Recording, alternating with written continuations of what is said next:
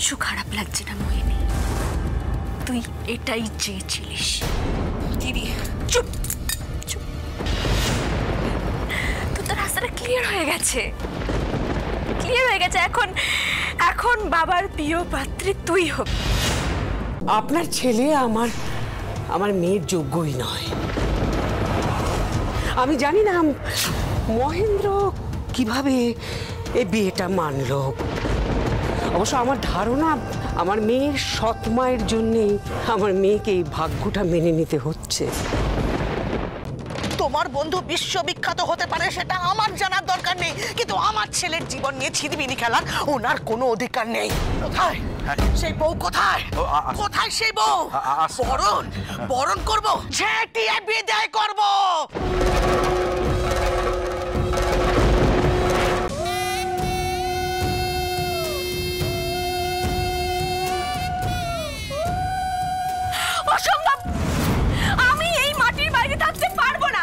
চুপচাপ জুতো খুলে ভেতরে চলো। আমি চলে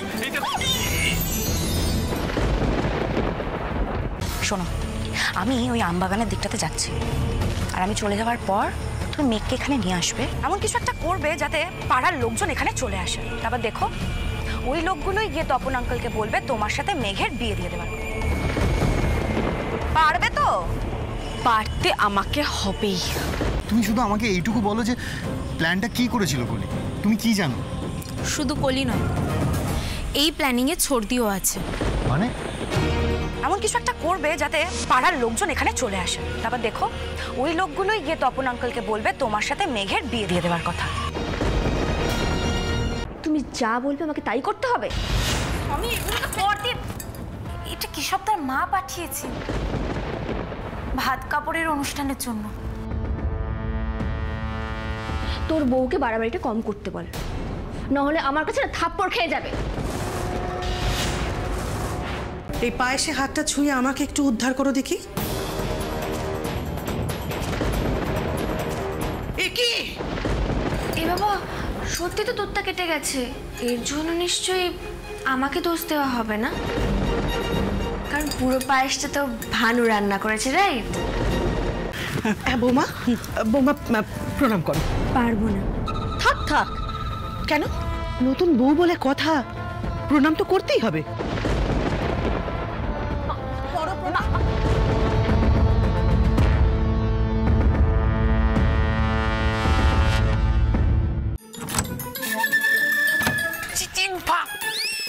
কেশবদা তুমি বর্দিকে যেভাবে বোঝো আর ভালোবাসো আমার তো মনে হয় না অন্য কেউ এইভাবে বর্তিকে বুঝবে আর ভালোবাসবে। তাই আমি এই বিয়েটা কিছুতেই ভাঙতে দেব না। ভেতর থেকে চিৎকিনি পড়ে গেছে। আমাকে নিয়ে আপনাদের চিন্তিত হতে হবে না। আপনারা বরং এক কাজ করুন আপনারা আম বাগান টাগানগুলো একটু ভালো করে ঘুরে আসুন। চাঁদের হালো থাকতে থাকতে ঘুরে আসুন। সময়ের অঙ্ক সময় মিলিয়ে নেওয়াই ভালো। কেশবদা তুমি এসব কথা বলে তুমি সময় নষ্ট করছ। চলো তুমি যে আমাদের সঙ্গে যাবে। কোথায় যাব সেটা বলবেন তো? আরে পরে বলছি। আগে তুমি একটা কথা বলো তো। এই বাড়িতে সব দরজার ছিটকিনিগুলো লোহার তো? হ্যাঁ চিটকিনিগুলো সব লোহার কিন্তু এই অঙ্কটা তো আমি ঠিক বুঝ বুঝলে না তো? না। আচ্ছা। ম্যাজিকের অঙ্ক কি না? তাই। আচ্ছা ভানু শোনো।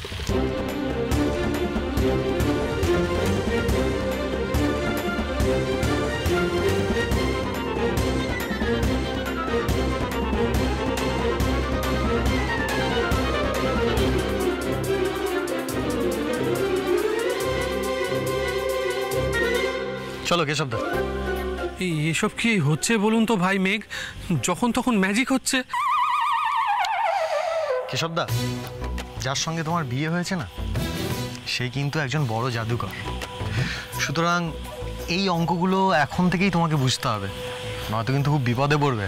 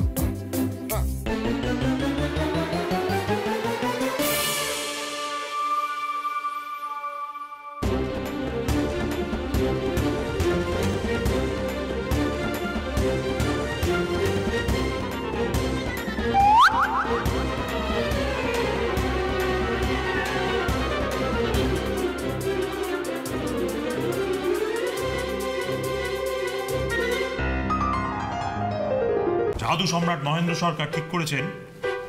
উনি জাদু প্রদর্শনী করবেন এখন। তার এই গ্রামে নিজের গ্রামে। বাবা তোমার মাথায় খারাপ হয়ে গেছে?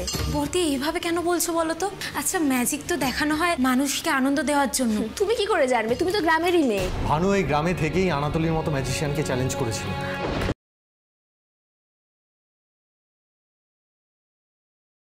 আস্তে আস্তে লাইন করে। হ্যাঁ এসো। এসো লাইন করে দাঁড়াও লাইন করে।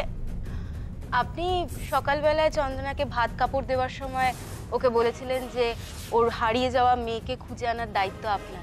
চন্দনা, দেখো তো, এর মধ্যে কেউ তোমার সেই হারিয়ে যাওয়া মেয়ে কিনা?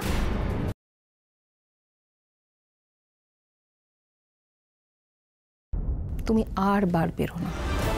ঝড়ে পড়ে যাবে। নিজের জীবনে অলরেডি অনেক ক্ষতি করেছ। আর ক্ষতি করো না, আমার কিন্তু কোনো ক্ষতি হবে না। যদি ক্ষতি হয়ও না আমি সামলাতে জানি যেটা তুমি জানো না। তাই তোমায় সাবধান করছি। আমার যাত্রা ভঙ্গ করতে গিয়ে নিজের আর কোনো ক্ষতি করো না।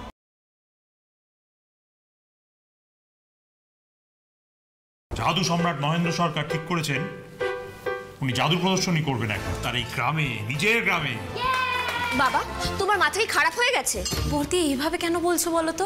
আচ্ছা ম্যাজিক তো দেখানো হয় মানুষকে আনন্দ দেওয়ার জন্য। তুমি কি করে জানবে? তুমি তো গ্রামেরই মেয়ে। ভানু এই গ্রামে থেকেই আনাতলির মতো ম্যাজিশিয়ানকে চ্যালেঞ্জ করেছিল।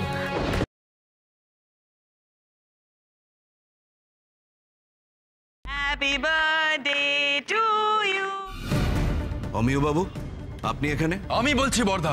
অমিয় বাবুকে ওরা পেল কি করে? সৃষ্টিকে এই লোকটা আজ নিজের ঘরে দরজা বন্ধ করে আটকে রেখেছিল বর্দা। ওদের পারিবারিক ব্যাপারে তোর উনি আমায় আটকে রেখেছিলেন নিজের দোষ ঢাকতে। উনি কি দোষ করেছেন সেটা আমরা ওনার মুখ থেকেই শুনে নিই।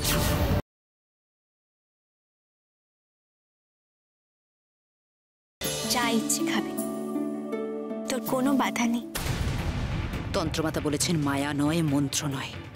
সাধারণভাবে মারতে হবে পারুলকে।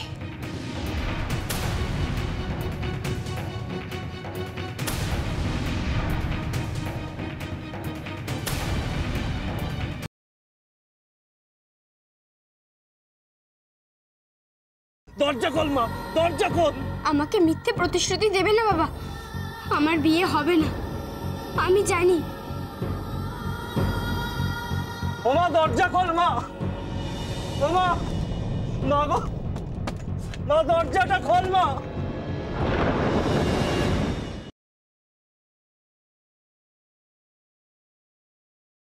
স্টাফ ওই মিটার বক্স এরিয়ায় গেছিল জল আনতে। আর তখন টের পেয়েছে যে ফ্যাক্টরি এরিয়াতে কেউ ঢুকেছিল। কোনো লোককে দেখতে পেয়েছে? না কাউকে দেখতে পাইনি। কিন্তু একটা পারফিউমের গন্ধ পেয়েছে।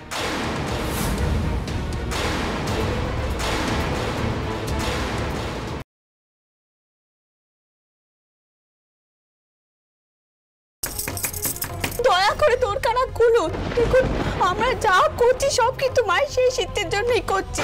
তাই গঙ্গা যাত্রার ব্যবস্থা করা হয়েছে। ঠাকুরপো তোর কোলো ঠাকুরপো আমার মা চিরটাকাল আমার মনের মধ্যে থাকবেন।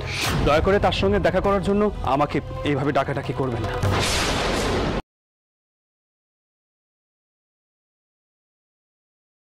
হ্যালো তুমি বুঝতে পারো না তোমাকে নিয়ে আমরা কতটা টেনশন করি। কেন করো এসব?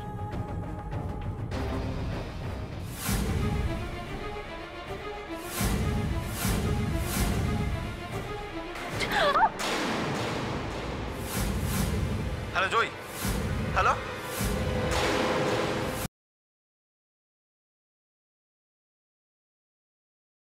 তুমি ওকে ইংরেজি শেখাচ্ছ? আমি ওকে ইংরেজি শেখাচ্ছি। ও আপনার চেয়ে ভালো ইংরেজি বলবে হ্যাঁ? একবারে আরে গাক গাক করে বলবে বলে রাখলাম। গাক গাক করে ইংরেজি বল বাবা কি ষাঁড়ের বাচ্চা নাকি? কি বলেছেন সারেরই তো বাচ্চা। বাবা আপনাকে সার বলল।